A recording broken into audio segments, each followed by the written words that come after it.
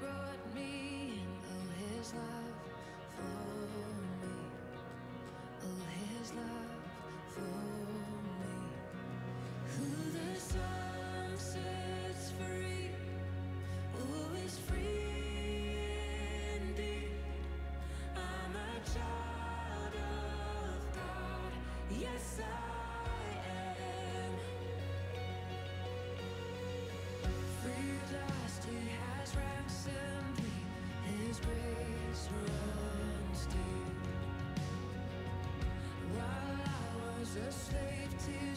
Jesus died for me. Yes, He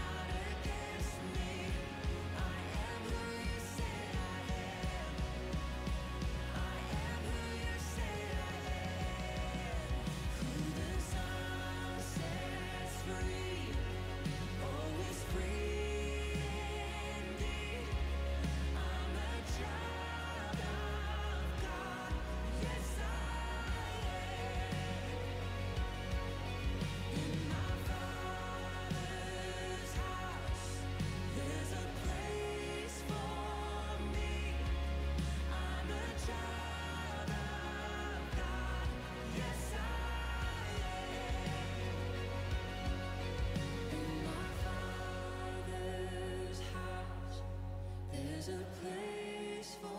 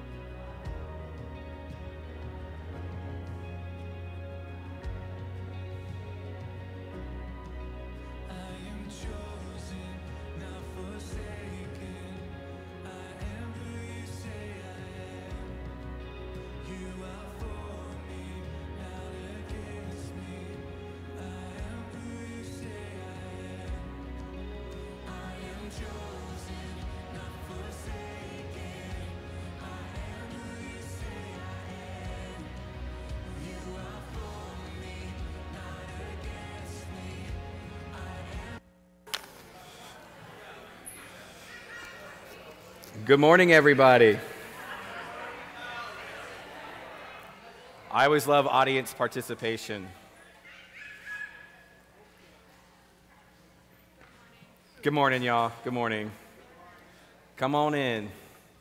Thank y'all for joining us here for worshiping, or for worship today. Uh, if you're joining us online, uh, thank you as well too uh, for joining us here. But we're glad you're here, whether you're online or whether you're here in person. Uh, God has certainly called us here uh, to worship Him and to bring us or to bring Him glory uh, through our worship uh, this morning. Um, you know, we want to. We always want to remind you every day. We, we, you know, we had our Connect class this morning uh, of, of potentially people coming to join the church uh, and join our church family. And so we talk about why do we exist as a church? Why has God called Metro North to be Metro North? And we exist because uh, God, we believe, strongly believe God uses us as a church to connect people to His transforming grace. And we do that through growing, uh, excuse, me, through going, through gathering, uh, through growing, um, and through giving.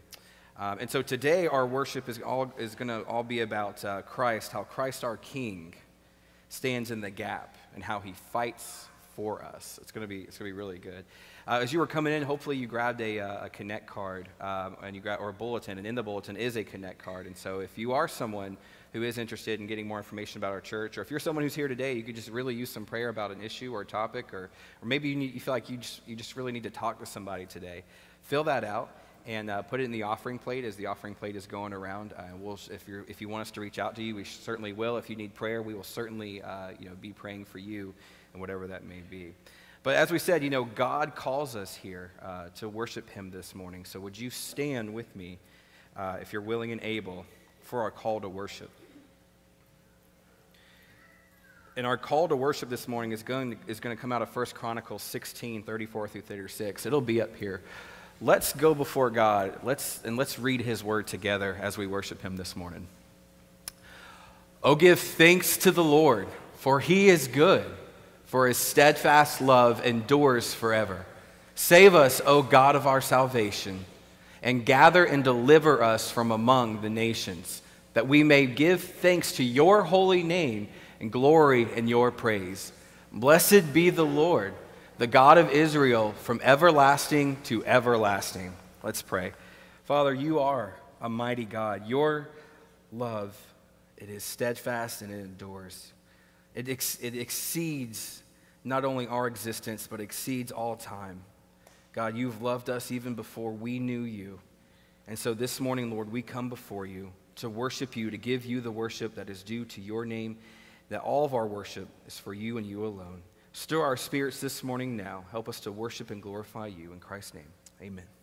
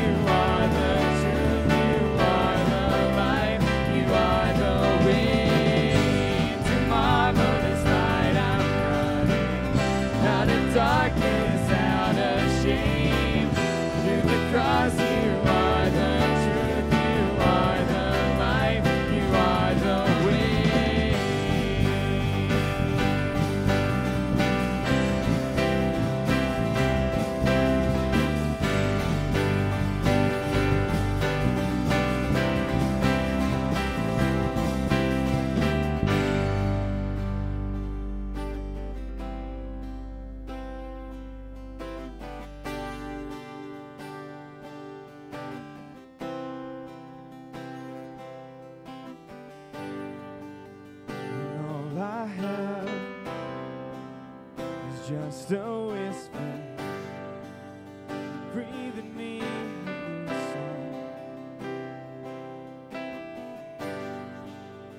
Take me back, and I'll remember joys of my first love.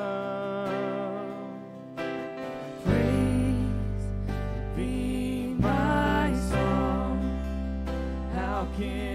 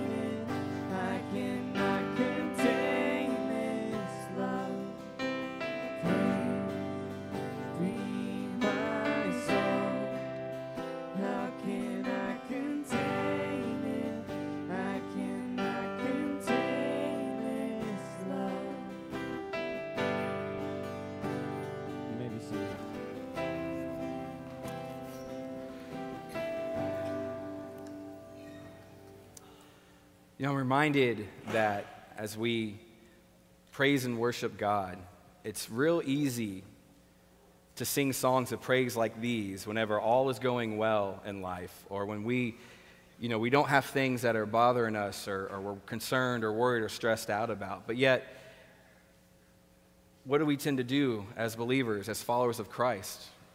God you're great. You're good. As long as everything in my life is going well god you're great and you're good and the reality is is is then the opposite happens god why are you allowing this thing to happen why is this happening? Why is it happening the way it's happened? Why haven't you done anything about it yet, God? God, what are you doing? I just don't get it. And then we come up here and we got to sing songs about how wonderful and good God's love is. And it's hard to do when we've got so much that we're internalizing that's going on in this world right now or going on in our own lives.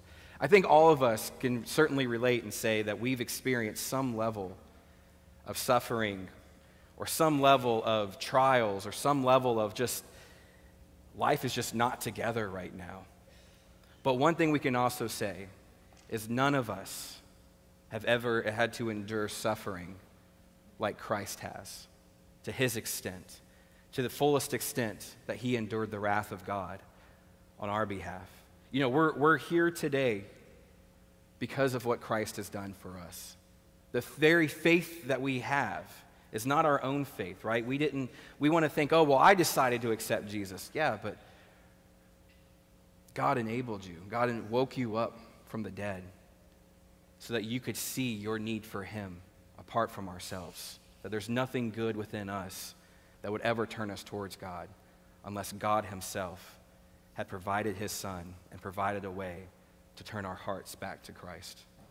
So, this morning, as we're talking about thinking of Jesus as our King and our defender, we're going to talk about faith in the sense of it's hard to have faith when times are tough. I'm, I'm certainly, and if you're someone who's here today who feels that way, I'm certainly with you as I had my own set of bad news this week that has certainly rocked my world in a way where I'm going, what just happened? And it's tough. It's tough to sing. It's tough to be here. But yet, God is always faithful to us, even when our own faith feels weak and shaken. So that's going to be our confession this morning. Our confession will be up here on the board. Would you go with me before the Lord and let's confess to Him our need for Him to increase our faith? My God, I praise you for giving me the gift of faith, to see you as my Father, and to know that you, as a, co- a covenant God, to experience your love planted in me. Christ Jesus, by your grace through faith, I have been bought by you. This faith anchors me so I might trust you and follow you as my Lord. Holy Spirit, be pleased to live and move within me, breathing my prayers, living in my praises, speaking in my words, moving in my actions, and causing me to grow in grace. Lord, your overwhelming goodness has helped me to believe, but my faith is weak. Its steps are stumbling, its growth is slow, its backsliding is frequent. My faith should rise to the heavens, but it often grovels in the dust. Lord, I ask you to fan the small spark into a growing flame. Awake my faith to put its hope in Christ alone, that I might bring glory to your name. Amen. And God reminds us that we are not without hope. And He shows us here in His Word that even when we, as followers of Christ, if our faith is weak, our faith is shaken, He still loves us and we are still justified in Christ. So our pardon comes out of Romans 5, verses 1 and 5 this morning, which says this Therefore, since we have been justified by faith, we have peace with God through our Lord Jesus Christ. And hope that does not put us to shame because God's love has been poured in our hearts through the Holy Spirit who has been given to us. God is faithful to us, that we always have hope, that no matter how bad life may get, we always know that we can rest in the one who purchased our life for us. So we give back to God through our singing. We give back to God through our praises and our worship. We also give back to Him through our, through our tithing and our offering. Um, so in our, this is in our moment of our worship where we're going to go before God through giving back to Him. Um, our offering verse this morning, it comes out of Acts 20, which says this, "In everything I showed you, that by working hard in this manner you must help the weak and remember the Lord's remember the word of the Lord Jesus that he himself said, it is more blessed to give than to receive." Our offering plates are going to be coming by here in a moment. Uh, would you consider and prayerfully consider how God may be calling you to give back to him? But let's pray for our offering. Lord, we are a needy people. We have spiritual needs. We have mental and emotional needs. We have uh, physical needs, Father. We have, we have needs that we may feel like are not being met today. And yet, God, we know that because you are faithful to us as our King, and as our Savior, as our good shepherd who looks upon his sheep with compassion, that God, you have provided all that we need. And you continue, continue to provide the things that we need in our time here on this earth.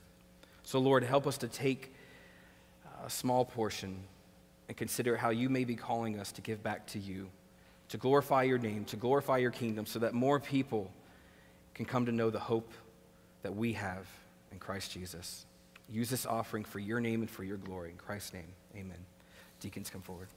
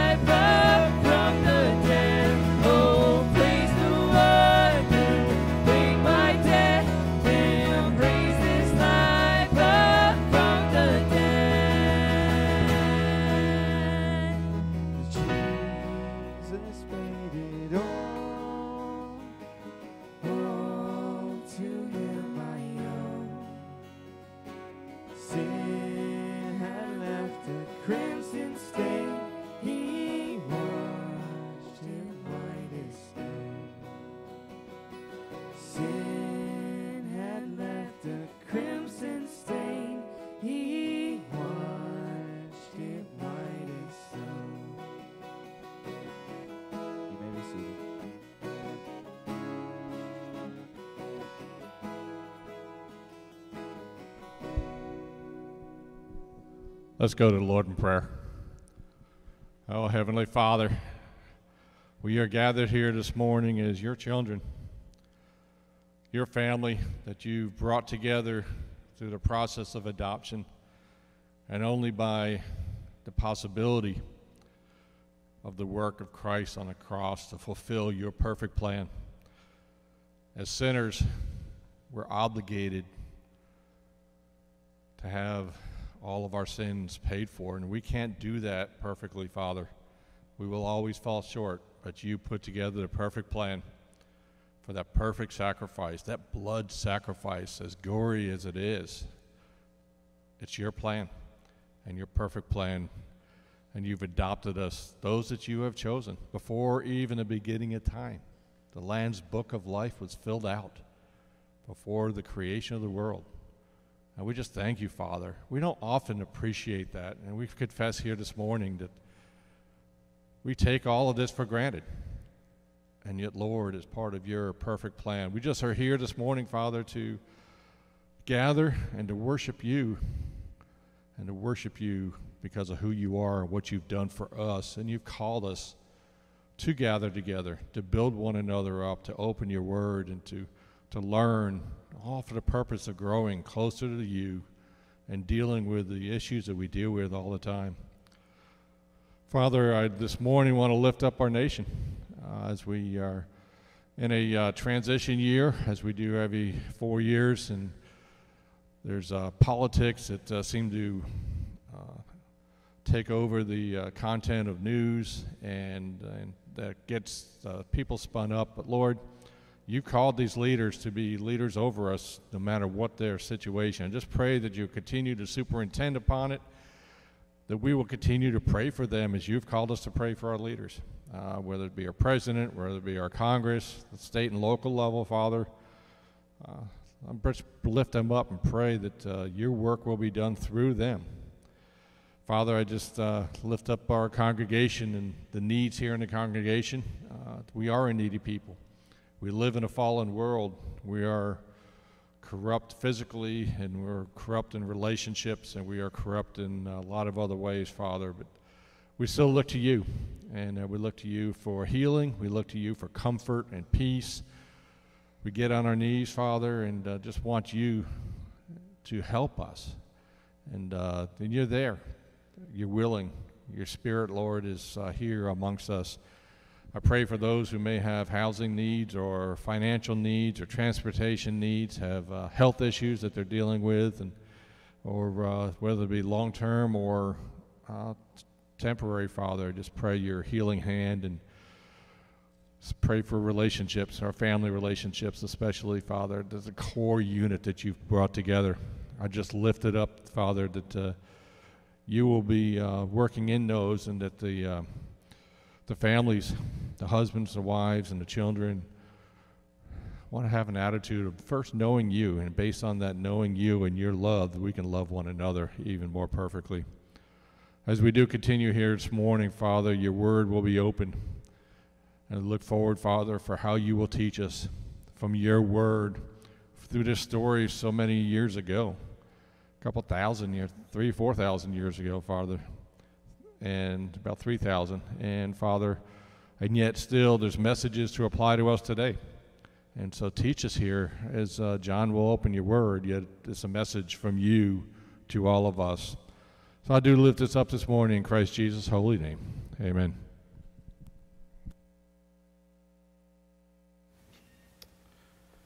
Thanks, Matt.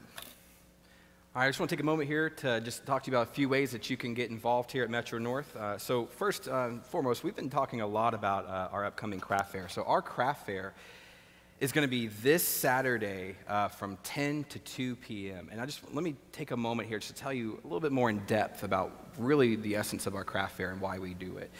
We're going to have 60 vendors um, coming here. And I don't know if y'all realize this. Uh, well, I think most of you know this already. We, we, one of the reasons we do this craft fair is it, it does help us with fundraising for our students. We have about 17 students who are going to go on, on a, you're going to take their time during their summer break to go on a mission trip. And each one of those students has to raise $650 to be able to do that, okay? And so we do this craft fair in part to support those students so that those students can go and do that. But the other thing, the other reason we do this craft fair is it is a ministry for us. Y'all, I don't know if y'all know this, but we will have upwards to four to 500 people, not including Metro North people, come through those doors uh, this Saturday. And so this is a huge event where there are vendors, for example, that come and do this craft fair instead of going to bigger craft fairs because of the ministry that we do here to serve them. We're one of the only craft fairs that will help them unload, reload after it's all over. We also are here to help them uh, if they need a break uh, during, their, during the craft fair. We help support their booth and what they're doing. Um, and, uh, and of course, I, I don't know again if y'all have ever realized this, the craft fair is also a way for the community out there to come into the doors of our church and for us to begin to build relationships so that people who don't know Jesus can come to know Jesus. And you might think, well, how does that happen through a craft fair? But the cool thing is, I can tell you from being at this church for over for nine years, that it happens. People come here and start visiting and come to know the Lord through through a craft fair. They came here to shop, and instead, they find the mercy and grace and love of God and all of that.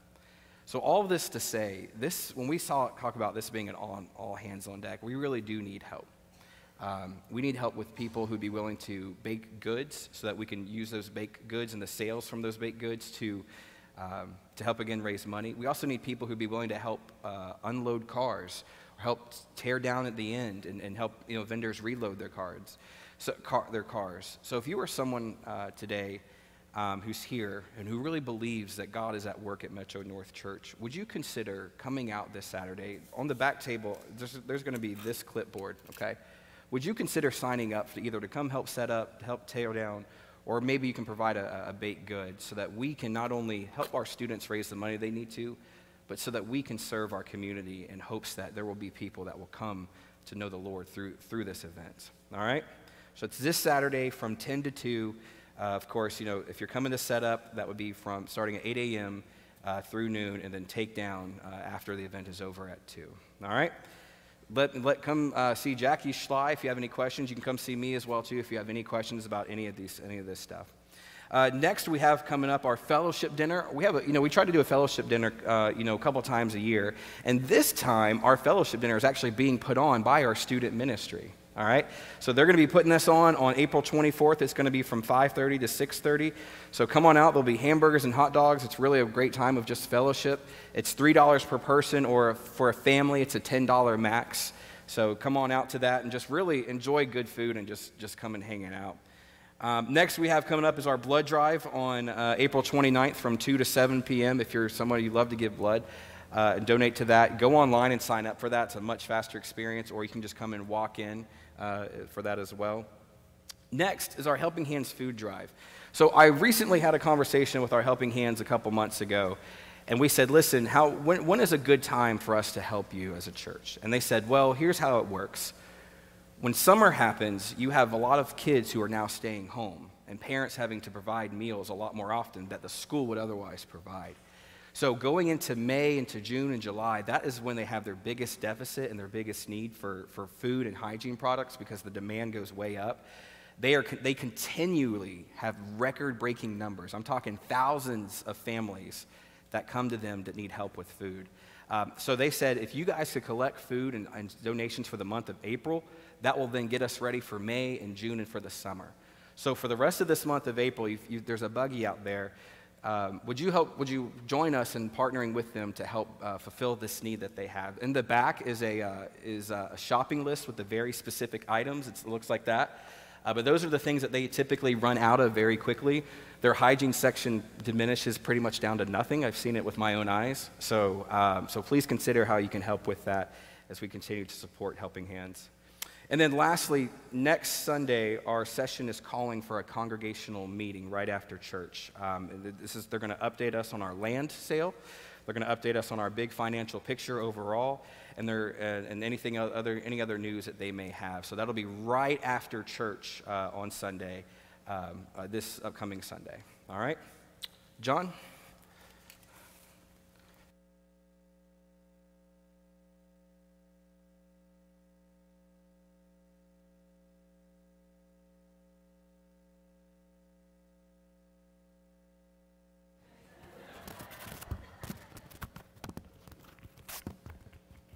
My first mistake this year. Here it is, April. I'm doing good. Actually, it's not. Um, asked Tom to come up here, and Arlene, where's Arlene?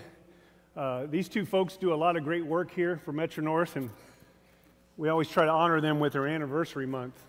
My second mistake this year. Tom's anniversary month is in January.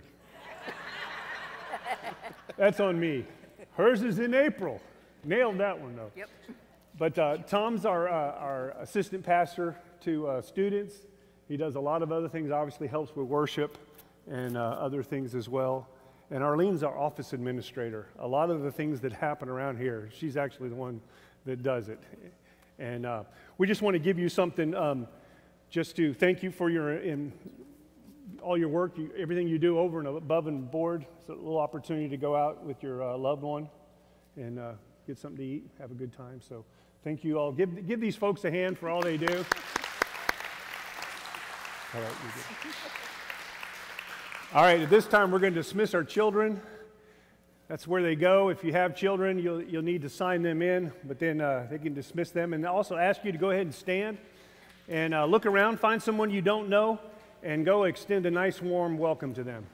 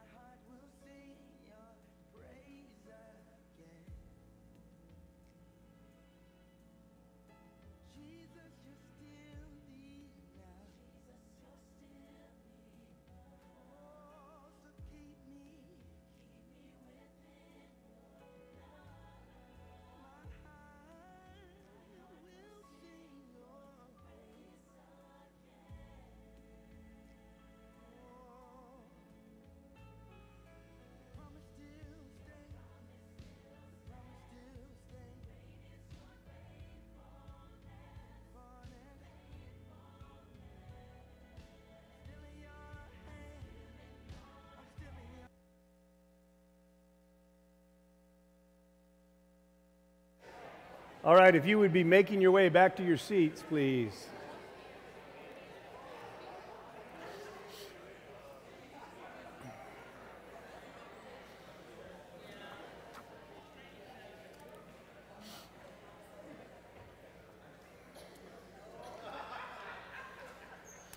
If you got your Bible with you, uh, would you please open up to 1 Samuel, 1 Samuel chapter 17. We're going to be going over a story today that you all know. In fact, you could be unchurched and know this story. It's the story of David and Goliath. And I think it's one of those stories that, that is known really almost worldwide. Uh, there are people all over the world that, even though they may not know the specifics of the story, they still talk about it in this terms. Uh, uh, you talk about, you know, this underdog going up against some, some great, great champion. But it's a story we're familiar with. But it's often, um, and I'm going to tell you right up front, a lot of times we interpret this story this way. And I'm going to tell you right up front, it's the wrong way, okay? But this is what we usually say. You'll hear someone say something like, if you can just sling the stones in your life by faith, you can slay your giants too. That's probably how you've heard this preached before. But that's very man centered, it's very me centered. It's all about what I can do. And David is an archetype. That's a fancy word to mean he's an example. David is an example for us of Jesus Christ. So, this is a story about Jesus Christ. Okay? And what we need to understand is as we read this story, resist putting yourself in the place of David. Every time David does something, every time David says something, don't say, oh, that's me. I need to slay the Goliaths in my life. No, you put Jesus Christ in the place of David. Because this is a story about Jesus Christ. Now, I would ask you to typically stand for the reading of God's word, but this is a long chapter. So please remain seated, okay? But we are going to read all of chapter 17. So this is the word of God. Now the Philistines gathered their armies for battle, and they were gathered at Socoh, which belongs to Judah, and encamped between Socoh and Azekah in Ephes Dammim. And Saul and the men of Israel were gathered, and, and they encamped in the valley of Elah. And they drew up in battle, uh, in the line of battle against the Philistines. And the Philistines stood on the mountain on one side, and Israel stood on the mountain on the other side, with a valley between them. And there came out from the camp of the Philistines a champion named Goliath of Gath, whose height was six cubits and a span. He had a helmet of bronze on his head. He was armed with a coat of mail, and the weight of the coat was 5,000 shekels of bronze. And he had a bronze armor on his legs, and a javelin of bronze slung between his shoulders. The shaft of his spear was like a weaver's beam, and his spear's head weighed 600 shekels of iron. And his shield bearer went before him. He stood and shouted to the ranks of Israel, Why have you come out to draw up for battle? Am I not a Philistine, and you are the servants of Saul? Choose a man for yourself, and let him come down to me. If he is able to fight with me and kill me, then we will be your servants. But if I prevail against him and kill him, then you shall be our servants and serve us. And the Philistine said, I defy the ranks of Israel this day. Give me a man that we may fight together. When Saul and all the Israel heard these words of the Philistine, they were dismayed and greatly afraid. Now David was the son of an Ephrathite of Bethlehem in Judah, named Jesse, who had eight sons. In the days of Saul, the man was already old and advanced in years. The three oldest sons of Jesse had followed Saul to battle. And the names of these uh, three sons, of his three sons who went to the battle were Eliab the firstborn, next to him Abinadab, and the third Shammah. David was the youngest. The three eldest followed Saul, but David went back and forth from Saul to feed his father's sheep at Bethlehem. For 40 days, the Philistine came forward and took his stand morning and evening. And Jesse said to David his son, Take your brothers and uh, an ephah of this parched grain and these ten loaves, and carry them quickly to the camp to your brothers. Also, take these ten cheeses to the commander of their thousand. See if your brothers are well, and bring some token from them. Now, Saul and they and all the men of Israel were in the valley of Elah, fighting with the Philistines. And David rose early in the morning and left the sheep with the keeper, and took the possessions with him, and went, um, as Jesse had commanded him. He came to the encampment as the host was going out to the battle line, shouting the war cry. And Israel and the Philistines drew up for battle, army against army. And David left the things in charge of the keeper of the baggage and ran to the ranks and went and greeted his brothers. As he talked with them, behold, the champion, the Philistine of Gath, Goliath by name, came out, came up out of the ranks of the Philistines and spoke the same words as before. And David heard him. All the men of Israel when they saw the man, fled from him and were much afraid. And the men of Israel said, Have you seen this man who has come up? Surely he has come up to defy Israel. And the king will enrich the man who kills him with great riches, and will give his daughter and make his father's house free in Israel. And David said to the men who stood by him, What shall be done for the man who kills this Philistine and takes away the reproach from Israel? For who is this uncircumcised Philistine that he should defy the armies of the living God? And the people answered him in the same way So shall it be done to the man who kills him. Now Eliab, the oldest brother, heard what he spoke to the men. And Eliab's anger was kindled against David, and he said, Why have you come down? And with whom have you left those few sheep in the wilderness? I know your presumption and the evil in your heart, for you have come down to see the battle. And David said, What have I done now? Was it not but a word? And he turned away from him toward another and spoke in the same way. And the people answered him again. When the words that David spoke were heard, they repeated them before Saul, and he sent for him. And David said to Saul, Let no man's heart fail because of him. Your servant will go and fight with this Philistine. And Saul said to David, You are not able to go against this Philistine to fight with him, for you are but a youth, and he has been a man of war from his youth. But David said to Saul, Your servant used to keep sheep for his father. And when there came a lion or a bear and took a lamb from the flock, I went after him and struck him and delivered it out of his mouth. And if he arose against me, I caught him by his beard and struck him and killed him. Your father has struck, uh, sorry, excuse me, your servant has struck down both lions and bears, and this uncircumcised Philistine shall be like one of them, for he has defied the armies of the living God. And David said, The Lord who delivered me from the paw of the lion and from the paw of the bear will deliver me from the hand of this Philistine. And Saul said to David, Go, and the Lord be with you. Then Saul clothed David with his armor. He put a helmet of bronze on his head and clothed him with a coat of mail. And David strapped his sword over his armor. And he tried in vain to go, for he had not tested them. Then David said to Saul, I cannot go with these, for I have not tested them. So David put them off. Then he took his staff in his hand, and he chose five smooth stones from the brook and put them in his shepherd's pouch. His sling was in his hand, and he approached the Philistine. And the Philistine moved forward and came near to David, and his shield bearer in front of him. And when the Philistine looked and saw David, he disdained him, for he was but a youth, ruddy and handsome in appearance.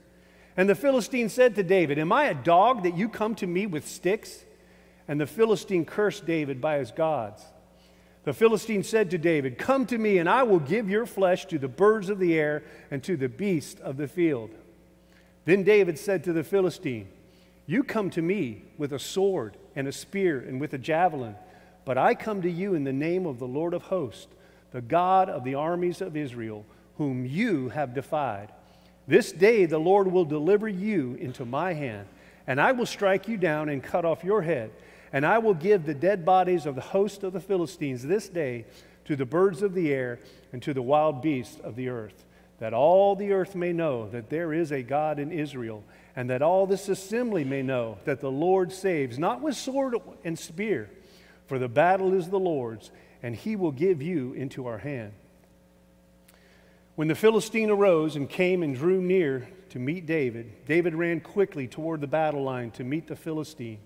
And David put his hand in his bag and took out a stone and slung it and struck the Philistine on his forehead. The stone sank into his forehead and he fell on his face to the ground. So David prevailed over the Philistine with a sling and a stone and struck the Philistine and killed him. There was no sword in the hand of David. Then David ran and stood over the Philistine and took his sword and drew it from its sheath and killed him and cut off his head with it. When the Philistines saw that their champion was dead, they fled. And the men of Israel and Judah rose with a shout and pursued the Philistines as far as Gath and the gates of Ekron, so that the wounded Philistines fell on the way from Shaaraim as far as Gath and Ekron. And the people of Israel came back from chasing the Philistines, and they plundered their camp. And David took the head of the Philistine and brought it to Jerusalem, but he put his armor in his tent. As soon as Saul saw David go out against the Philistine, he said to Abner, this commander, uh, to Abner, the commander of the armor, Abner, whose son is this youth? And Abner said, As your soul lives, O king, I do not know. And the king said, Inquire whose, boy the, uh, whose son the boy is. And as soon as David returned from striking down the Philistine, Abner took him and brought him before Saul with the head of the Philistine in his hand. And Saul said to him, Whose son are you, young man? And David said, I am the son of your servant Jesse, the Bethlehemite. Let's pray. Thank you. Gracious Father, we thank you for your word. That uh, a story that, as was prayed earlier, it is still living and active. And it's able to teach us, teach us of your goodness, of your righteousness, and what you do for us. Father, we pray once again that as we look at your word, uh, reveal to us once again the beauty of Christ. We ask your spirit now to come and teach us. We ask this in Jesus' name. Amen. David is a picture of Christ for us. We see Christ in David as he voices his faith, as he has a vision for faith, and as he is victorious by faith. So, first of all, let's look at how he voices his faith. Verse 26 David said to the man who stood by him, What shall be done for the one who kills this Philistine? Who is this uncircumcised Philistine that he should defy the armies of the living God? This is a story of contrast, of godly and ungodly. It's between those who focus on themselves or those who focus their attention on the Lord and his glory. This story mentions several times mocking, defying, reproaching the Lord. I think it's some six different times in the whole narrative. But it's clearly a battle between light and darkness, between the Lord and the forces of darkness. In battle, we typically think that bigger is better, right? We want the largest army, we want the biggest guys in the army, and the most skilled, because we think that's going to win the war. We look at this description of Goliath. He came out from the camp, this is verse 7. He came out from the camp of the Philistines, a champion named Goliath of Gath, whose height was six cubits in the span. He had a helmet of bronze. We hear all about the armor, how he's clothed, how big his, we, uh, his spear is. It was a weaver's, it was like a weaver's beam. Its head weighed some 600 shekels of iron. Just the spear alone probably weighs about 20 pounds. You say, okay, what difference does that make? Well, have you been to Walmart lately and bought the big bag of sugar? Not the five pound bag, I'm talking about the 20 pound bag. It's not easy to carry around. That's what this spear weighed, not counting all the armor and everything else, just his spear. We have a, uh, the tallest man in recent history was a guy named Robert Wadlow. Here's a picture of him. Robert was 8 foot 11. Goliath is probably around nine six. Okay? He was just an exceptional physical specimen. All right? And think back, too, when the children of Israel entered the promised land. They feared entering initially. Why? Because there were giants in the land. That's the report the 10 spies came back. We can't go there. These people are too big. There's giants in the land. And as a result, they spent 40 years wandering around in the desert because of their lack of faith. Now here comes David, I'm sorry, Goliath, every morning taunting Israel, every morning and every evening for 40 days. 40 years, 40 days. This is no coincidence. Their king, Saul, was also a giant. You realize that? Back in chapter 9, verse 2, this is what it says. When Saul was anointed king, it said, From his shoulders upward, he was taller than any of the people. So every other man in Israel was about this tall. And there was Saul. And why'd they pick him? Look at him. He's handsome. He's tall. That's the one we want for our king. Another physical description. But you see, Saul, without the Holy Spirit leading him, he has become just like Israel in the wilderness, wandering. So Israel has a king, but they have no leadership by their king, King Saul. And for 40 days, Goliath defies Israel. To Israel's army, this giant is unbeatable. They cower in fear. It's mentioned a couple times. Verse 24 is one of those. But God does not look on the strength. He does not look on the outward. He does not look at someone's smarts. He looks at the heart. And David is much different than Goliath. David is a man, and most likely a teenager at this time. We know that because a man had to uh, be 20 years old to serve in the army. His three older sons were probably 20 and older. But David, being the youngest of eight, he had the grunt job go out and watch the sheep. Make sure the sheep don't wander off and do something stupid. Protect the sheep. That was his job. So, compared to Goliath, David is little. He's little in family, he's little in stature, he's little in combat experience, and he's little in position. But his heart is firmly focused on the Lord. He comes to the battle line excited by the whole situation.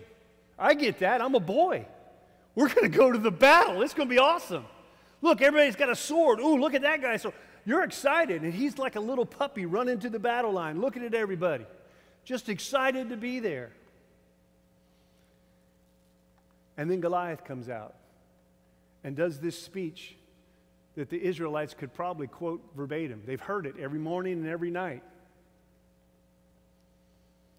And David is very unembarrassed to voice his faith. What shall be done for the man who kills this Philistine and takes away the reproach from Israel? For who is this uncircumcised Philistine that he should defy the armies of the living God? You know, these are the first recorded words of David in the whole Bible. But even the first recorded words tell you a lot about his character, don't they? He's concerned about God, about God's reputation. He seems to be the only person in the whole Israelite army concerned about God and his glory rather than worried about the opposing army's power and might. He's deeply concerned with the defying and the taunting of Israel and of the Lord. Yahweh's reputation matters so much that David is willing to put his life on the line to defend it. That should be Saul out there. It's Saul's job to go and fight for the nation.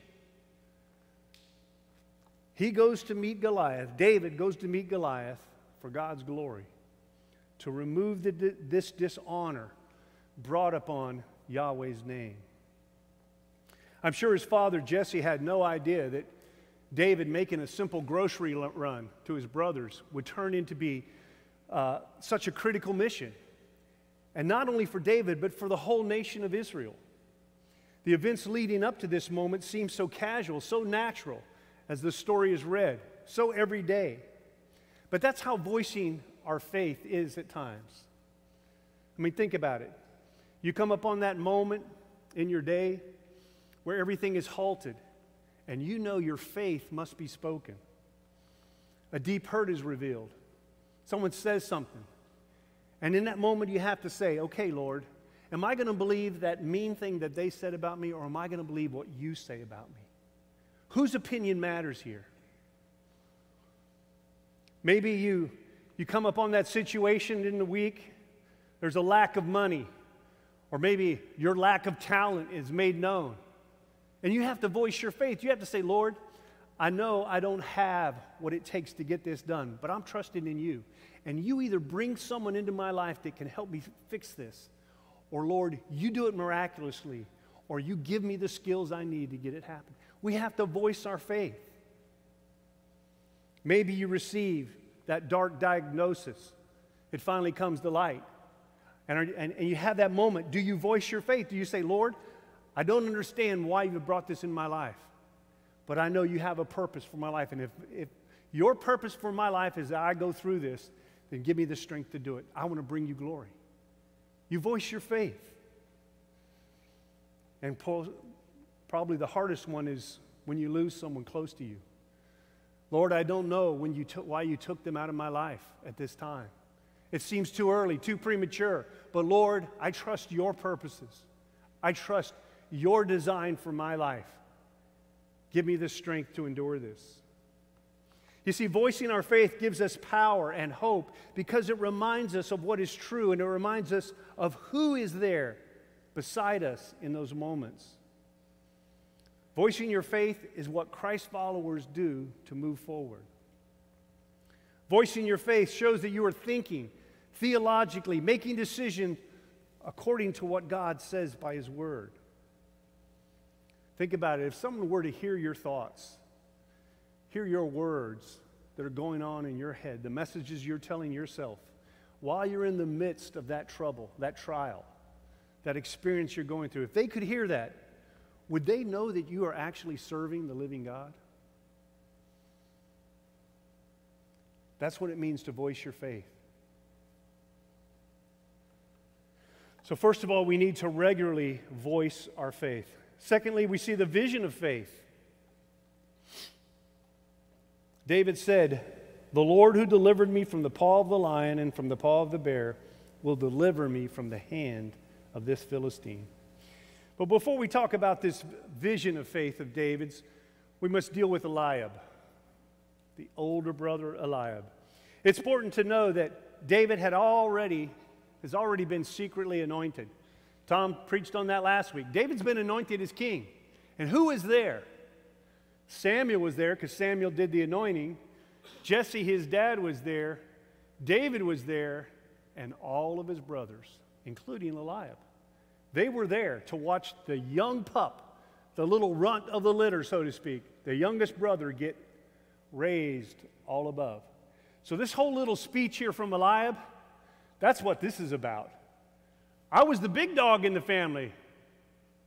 Now, David's been elevated. The interaction between Eliab and David here sounds like a lot of nitpicking. I mean, that typically would go on, especially if you got eight boys in the family. Trust me. And David was usually the object of it. He was the youngest, he got it from all seven. But then, after his anointing, with his elevation, here comes Eliab, the firstborn. He's grown to despise his younger brother. But more than that's going on here. Eliab is a mirror for us. Eliab is a mirror of Goliath. He's Goliath before Goliath. Goliath will express contempt for David, he'll express contempt for God. But Eliab has already expressed the same contempt for David here. As theologian Dale Davis puts it, David has to fight three Goliaths in this chapter. In Eliab, he faces the contempt of Goliath. And in Saul, he meets the mind of Goliath. You know, Saul tells him, he says, You're not experienced enough, you're not equipped enough to be a warrior. The odds of winning are low. But then he eventually faces out, steps out and faces Goliath himself. But here's where we see David's vision of faith. Verse 34 David said to Saul, Your servant used to keep sheep for his father. And when there came a lion or a bear and took a lamb from the flock, I went after him and struck him and delivered it out of his mouth. And if he arose against me, I caught him by his beard and struck him and killed him. Your servant has struck down both lions and bears, and this uncircumcised Philistine shall be like one of them, for he has defied the armies of the living God. And David said, The Lord who delivered me from the paw of the lion and the paw of the bear will deliver me from the hand of the Philistines. He sees by faith the power of the Lord. I don't know, and every time I read this story, I'm just kind of shocked by the fact that he, you're telling me you'd rather face a man than a lion and a bear. I'm thinking a lion and a bear's got to be a whole lot worse than facing a man. But David says, No, I've done that. I can do this. Same, same. What's the big deal? That's what he's saying. But see, David's answer to Saul reveals his secret. What is it that so invigorates his faith that he's willing to stare this great warrior from Gath straight in the eye? Well, he explains it. He explains that a shepherd lives with a constant care for the, the sheep, for the safety of the sheep. And this Goliath is just like a lion or a bear, threatening his flock. In other words, Goliath is not a symbol of power and might, he's simply a threat to the sheep. He's a threat to Israel. So David is standing for God and his honor, and he's taking a stand for God's people and their safety, just like any true king should. David uses a Hebrew verb here called nakah several times in his little speech here. It means to strike or to strike down. David says here, he will strike down Goliath three times in verses 35 to 36. It's as if he's making this point to Saul Don't tell me I have no battle experience. Striking down enemies is part of my job. Ferocious animals are, are just like ferocious giants. And this Philistine is destined for the lion bear heap because he has mocked the armies of the living God. And you just watch me. I'm going out there right now to strike him down. That's what David's saying. Those are bold words for a teenager before a king. But David's a man of insight. Do you notice in all of this, he didn't, he didn't claim any special skill or ability. Read it again. It makes it sound like he's talking about himself, but no, he's saying, Look, God has done this. He says, Yahweh delivered me then, and Yahweh's going to deliver me now. David believes by faith that God does not need kings or armies to defeat Philistines. Saul, on the other hand, is fearful because he trusts in armies. Verse 11 said that when Saul and all Israel heard these words of the Philistine, they were dismayed and greatly afraid. Because Saul was looking, going, Look at that dude, man. We can't, we can't match that. We got nobody. Even our biggest guy is like three feet shorter than him. What are we going to do? David sees the world through God's eyes. He's bold, he's courageous in his faith. When he looks at this giant, he sees a bully harassing God's sheep. Goliath is simply an uncircumcised, ignorant blasphemer of the living God, and David knows that the Lord has no time for such people. He sees the world through God's eyes. He's not only a man after God's own heart, but he also has eyes like God's eye. He sees things as God sees them. And it is in this sense that David foreshadows his greater son, Jesus Christ. Jesus came into a world where the Jews were weary of being under Roman occupation, and they sought a military savior. However, Jesus saw things as his heavenly Father saw them. He knew that the great enemy was not the Romans. The great enemy that Jesus faced was human sinfulness, death, and Satan. These enemies, against these enemies, Jesus waged war, armed with nothing but the Word of God and the cross. Jesus Christ allowed the enemies of God to take him and to crucify him. And in doing so, he made a public spectacle of them. Colossians 2, verse 15 says, He disarmed the rulers and authorities and he put them to open shame. Publicly, to open shame by triumphing over them. Now, David's example is helpful to us in that his faith is sustained in this present predicament because he remembers how God has provided in the past. If you get this in your head, this is such a helpful thing for your walk of faith. These rich Bible stories are examples that build and encourage our faith in the now, in the present. And our memory of God's past deliverances, not just David and Goliath, but you personally. How has God shown up in your life in the past will fuel you, will give you faith for the future.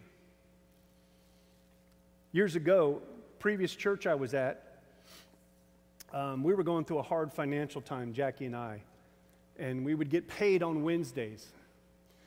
We were at Sunday, we are in church. I think we just had three kids at the time, um, but we were living paycheck to paycheck. And um, during the service, Jackie leans over to me and she goes, um, We need some groceries, or we're not going to make it to Wednesday. I knew what she meant by that. And I said, Well, how much do we need? Well, she goes, We need milk, bread, probably about $25. I said, Okay. Um, I, am you know, I'm, I'm kind of simplistic in my faith. I just said, Okay, well, let's pray for it. So, right there in the middle of the service, bowed her head and said, Lord, we need $25 to make it to Wednesday. Please give us that money. In Jesus' name, amen. Nothing beautiful, nothing. I mean, it's not a lot of these and thous, you know, just a simple prayer. God, this is what we need. Please give it to us. Well, there was a gentleman in our church, Frank Malpe. I, I always loved this guy because his wife's name was Floss. So when you talk about the Mal- Maltese, you always talked about him as Frankenfloss. I thought that was funny too. So Frank was probably late 70s, early 80s. He had, I was the youth pastor or, or uh, youth director. He had no children, no grandchildren in the youth ministry. He was just an older gentleman in the congregation on a fixed income, limited income, wasn't rich. And every once in a while, he would, he would give me a check. And it was always a check for $25. Always. So this has happened before. Um, and I ha- had no reason why he gave me this money. He just liked me for some reason or liked us and just said, I'm going to help this family out. Um, so we prayed that prayer. We go about the service and everything. And after the service, he walks up to me. I still, it just captures me even to this day. He goes, John, I got something for you. And Frank, I said, Frank, are you kidding me? I said, I don't know when you wrote this check, but I need you to understand what just happened here. I said, Frank, you probably wrote this check last night because you always put it in an envelope, or you wrote it this morning. You had no idea that I was going to pray this prayer today. But God knew. And God was already working. And you, by being obedient to give a, $25, you're just doing God's work in such a way. And I just told him, I said, thank you so much for building my faith this way. Now, the point is this that- that's a wonderful story. Now, nobody's come up and given me a $25,000 check. I'm not saying they should. But my point is this whether I need $25 or whether I need 25,000, God can do that. A lot of times we don't have. Why? The Bible tells us we don't ask. And I, I mean this in all love, but y'all need to be a little bit dumber in your faith. Be more simplistic. You need something, ask God for it. It doesn't have to be money. God, I'm feeling so lonely today. Can you encourage my heart today somehow? God, I'm just losing hope. I had a lady this week call me. I just, I'm losing hope. Can you give me some hope this week? God, I need a parking space near the front of Walmart. Whatever it is, ask God. We need to ask God for those things because we don't have, because we don't ask. But the point is, the way God has provided for you in the past, He will provide for you in the future. These are baby steps. $25 check is a baby step for me. I've seen God do greater things than that down the road. But that was one of those point, moments where I said, okay, God, you're living, you're active, you're real, and you have showed it in just a unique way. So, David here, he trusts in the Lord now because the Lord has provu- uh, proved trustworthy in the past. We have to remember verse 37 where David says, The Lord will deliver me from the hand of this Philistine. See, he's already talking future tense. This is going to happen, King Saul. I'm going to be saved. Do you get that, King Saul? You don't get that, do you? The Lord's going to deliver me. And David is not delivered because he is good or right, but he's delivered because he knows and trusts in the true God. Circumstances will vary, but Yahweh, the Lord, is the same. Wherever you, whether you stand in front of a sheep or whether you stand in front of a Philistine, God's the same. So we've seen the voicing of faith, we've seen the vision of faith, and next let's look at the victory of faith. Verse 47 says, For the battle is the Lord's, and he will give you into our hand.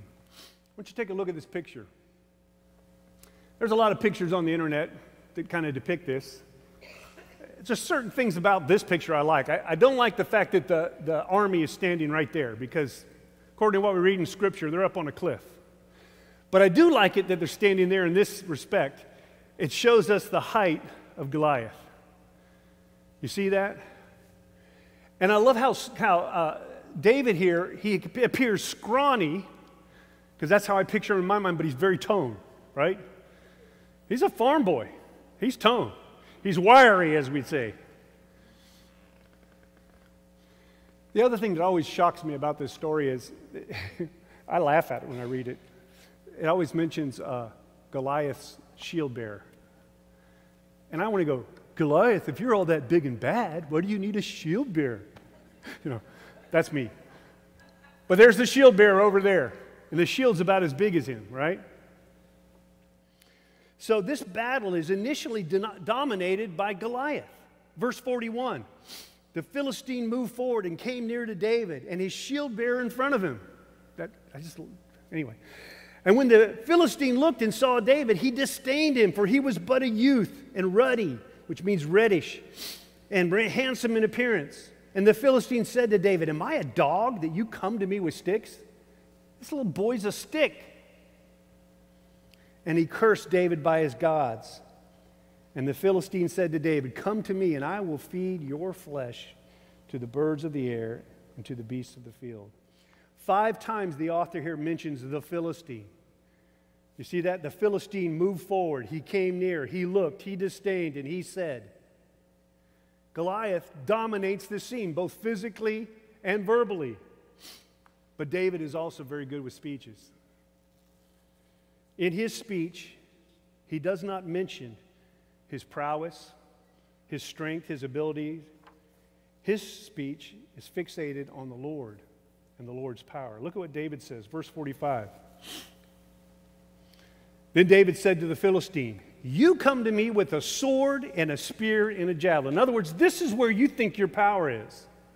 But I come to you in the name of the Lord of hosts, the God of the armies, whom you have defied. In other words, do you realize what you've done, you stupid idiot? This day, the Lord, and here's what's going to happen. He just kind of lays it out. This day, the Lord is going to give you into my hand. I will strike you down. I'll cut off your head, and I will give it, uh, give the dead bodies of the host of the Philistines to this day to the birds of the air and the beasts of the field. Why? So that all the earth may know there is a God in Israel. I read that and it hit me.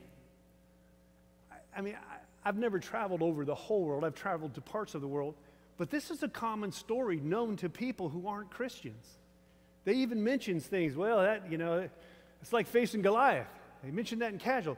The whole world knows this story because of this act of faith. Four times he mentions Yahweh. Every time it's capitalized there, that's the name Yahweh. He's mentioning Yahweh and what Yahweh will do. David stresses that Yahweh saves, not by the power of human instruments, but through the weakness of his servants.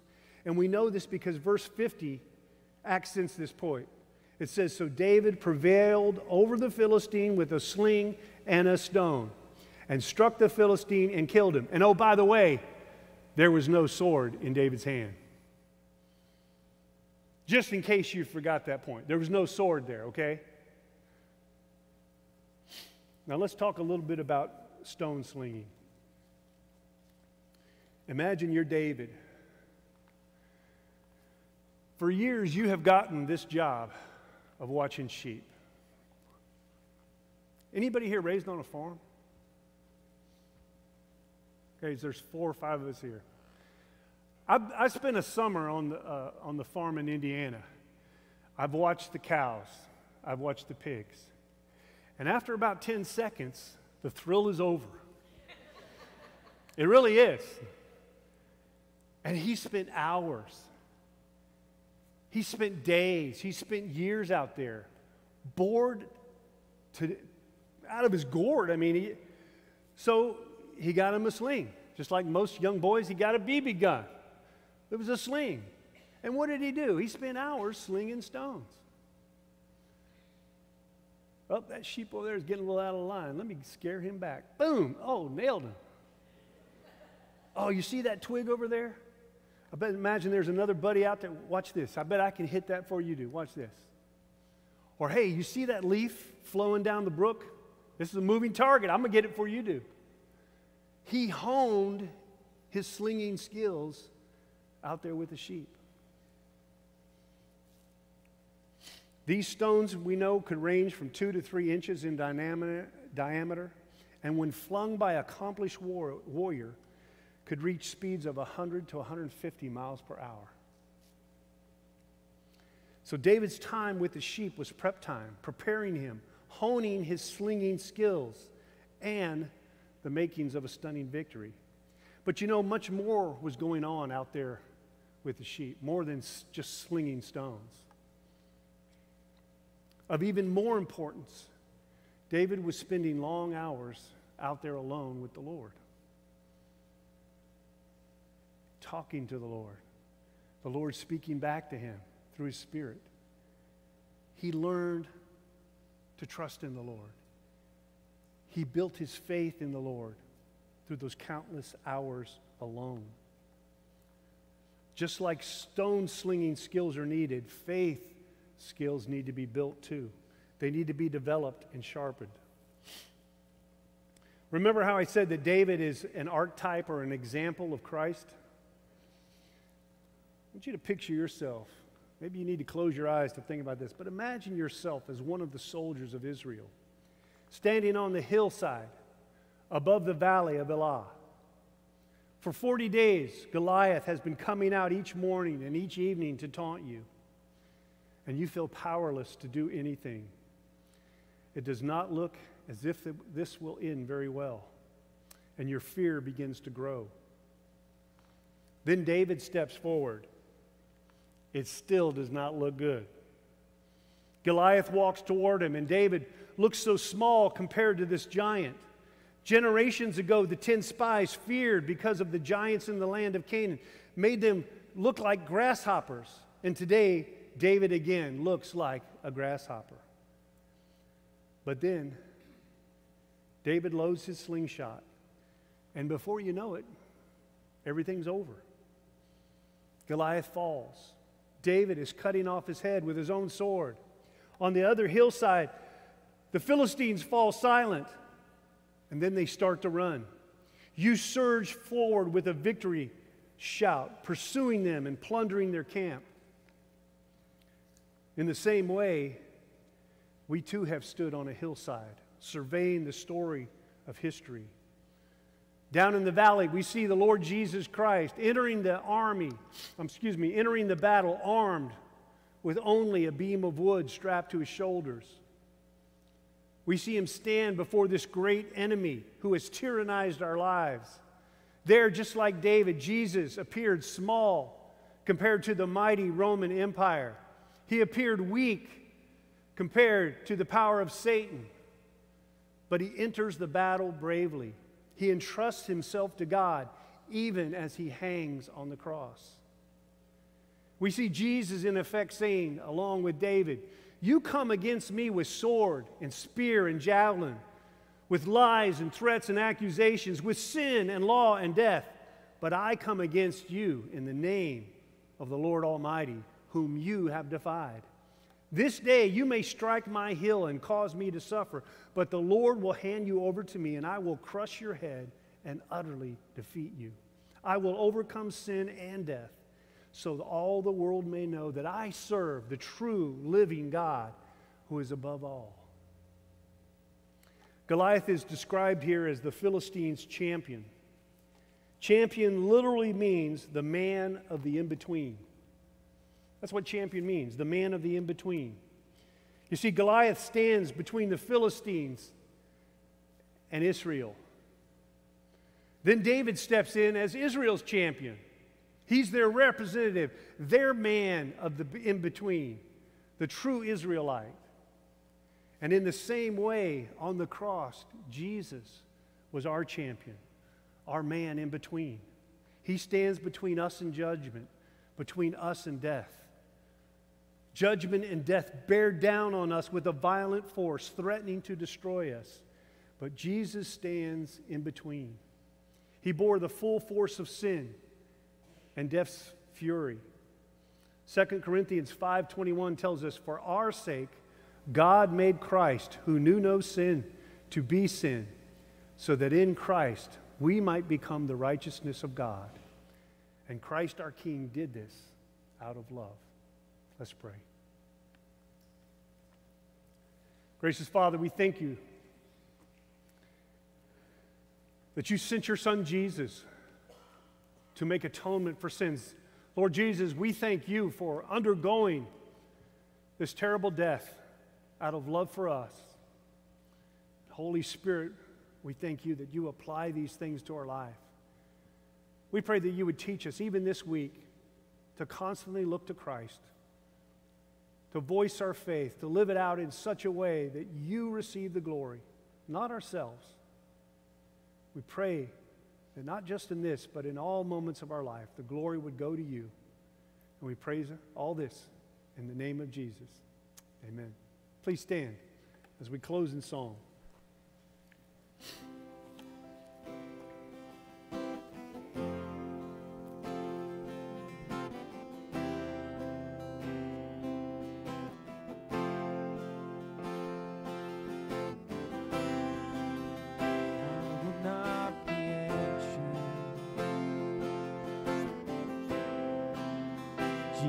You are near.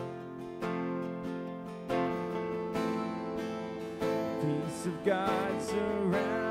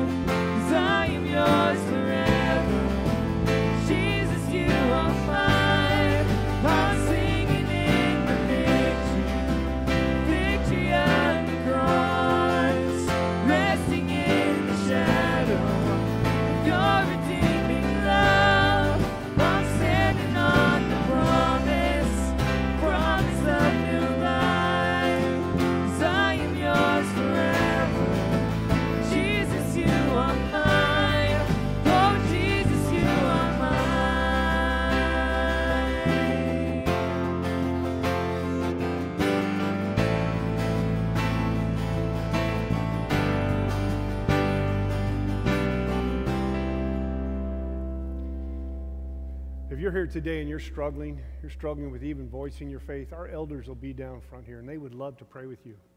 Basically, what prayer is, is an opportunity to, to voice our faith before the Lord. So come down. They'd be happy, like I said, to pray for you. We always leave with God getting the last word, and his good word for you today comes from Jude, where it says, Now to him who is able to keep you from stumbling and to present you blameless before the presence of his glory with great joy, to the only God, our Savior, through Jesus Christ our Lord, be glory, majesty, dominion, and authority before all time, now, and forevermore. Amen. Go in that grace.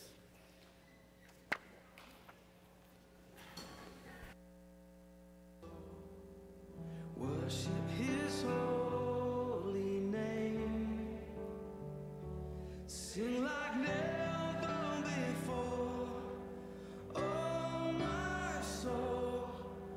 worship your holy name.